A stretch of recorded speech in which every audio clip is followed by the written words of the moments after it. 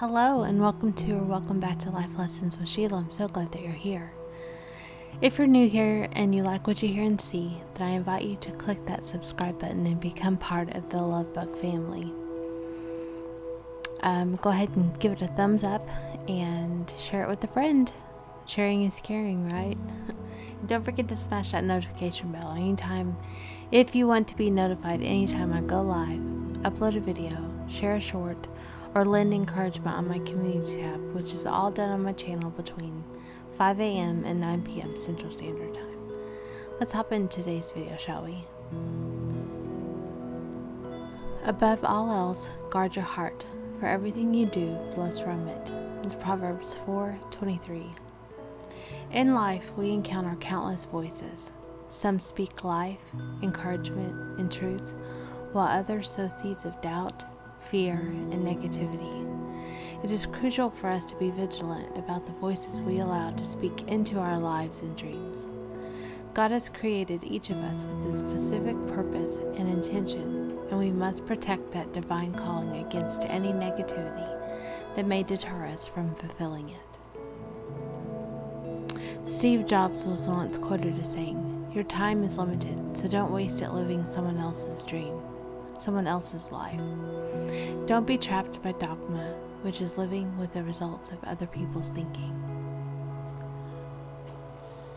Before you were even born, God had a plan for your life. The Bible reminds us of this truth in Jeremiah 29:11. For I know the plans I have for you, declares the Lord. Plans to prosper you, not to harm you. Plans to give you a hope and a future. God's plan for your life is filled with purpose, promise, and potential. Every dream and desire that aligns with His will is meant to draw you closer to Him and to fulfill His divine purpose for your existence. God's intentional design for your life is not haphazard or accidental. Ephesians 2:10 tells us, "For we are God's handiwork, created in Christ Jesus to do good works, which God prepared in advance for us to do." You are His masterpiece, crafted with precision and care to accomplish something unique in this world. But achieving that purpose requires staying focused and protecting the vision He has given you. Ralph Waldo Emerson was once quoted as saying, To be yourself in a world that is constantly trying to make you something else is the greatest accomplishment. Words are powerful. Proverbs 18:21 says, "The tongue has the power of life and death, and those who love it will eat its fruit." The words spoken into our lives can either build us up or tear us down. When we allow negative words to take root in our hearts, they can derail us from God's the path that God has set before us. These words can come from well-meaning friends, family members, or even strangers. They might question your abilities, cast doubt on your dreams, or speak fear into your future. Consider the story of David and Goliath. When David decided to fight Goliath, his brothers and even King Saul questioned his abilities. They tried to speak fear and doubt into his heart, saying he was too young, inexperienced, and ill equipped. But David knew his purpose.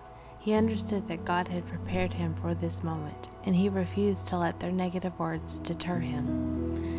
With confidence in God's plan, he declared, The Lord who rescued me from the paw of the lion and the paw of the bear will rescue me from the hand of this Philistine. It's 1 Samuel 17:37. David's steadfast faith and refusal to let others' negativities influence him led to a great victory. Les Brown was once quoted as saying, Other people's opinion of you does not have to become your reality. To guard your hearts, we must be selective about the voices we allow to influence us.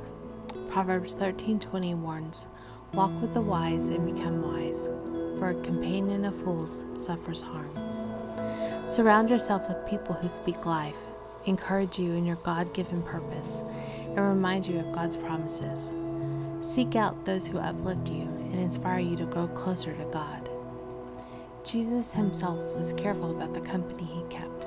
He surrounded himself with disciples who were committed to his mission even though he also engaged with sinners and skeptics to bring them to salvation. Jesus understood the importance of having a core group that supported his divine mission and reinforced the truth of God's Word. In your journey, there will be naysayers and critics.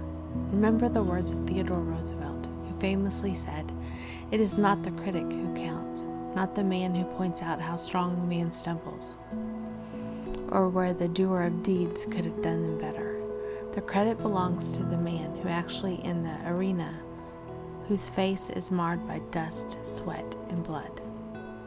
Don't allow those who, are, who aren't in the arena with you to dictate your path. Your journey is between you and God, and His voice is the one that matters most. When faced with negativity, respond with grace and truth. Jesus teaches us in Matthew 5:44, "But I tell you, love your enemies and pray for those who persecute you." When someone speaks negatively about your dreams or your potential, choose to respond with love and kindness. You don't have to accept their words as truth, but you can still honor God in your response. Speak the truth of God's word over your life. When doubt arises, declare God's promises. Say, I am fearfully and wonderfully made. It's found in Psalm 139:14. Or even, I can do all things through Christ who strengthens me which is found in Philippians 4:13. Remind yourself daily that you are walking in God's purpose and that no negative word can thwart his plans for you. Here's some practical steps to guard your heart. First, stay rooted in scripture. Make the Bible your anchor. Regularly meditate on God's promises and let them fill your heart and mind. When you're grounded in God's Word, it becomes easier to discern truth from lies. Second, pray for discernment. Ask God for the wisdom to know which voices to heed and which to disregard.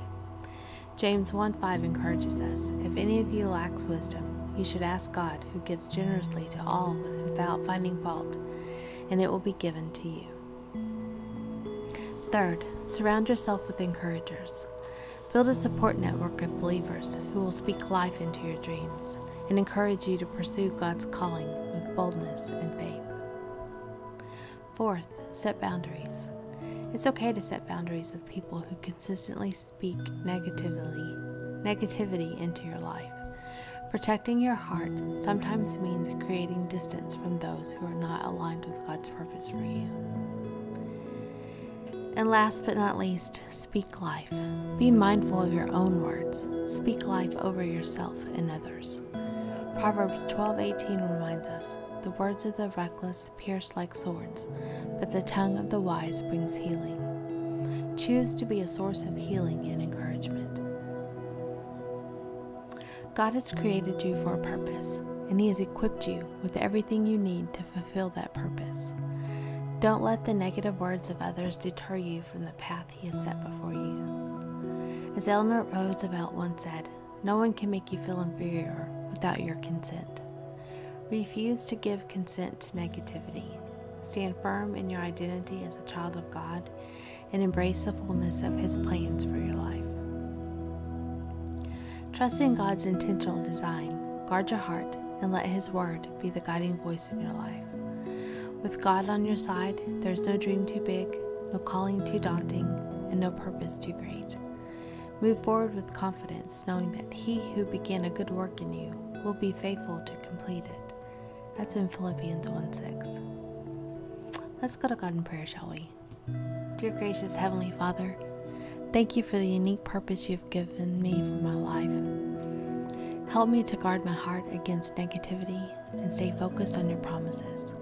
Surround me with people who will encourage me and speak life into my dreams.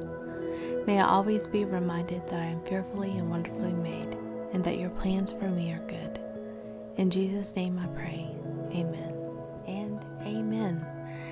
And I hope on this beautiful day that you guys go out there and you just win the world.